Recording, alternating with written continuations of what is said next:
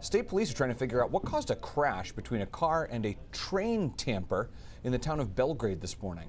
According to the Maine Department of Public Safety spokesperson Shannon Moss, the incident happened on train tracks crossing Augusta Road near Route 27. Now, a tamper is a vehicle that packs the dirt under railway tracks to make the tracks and roadbed more durable and level. Moss says 83 year old William Bachman of Smithfield crashed into the tamper. It was being operated by 19 year old Bryce Willett of Madison.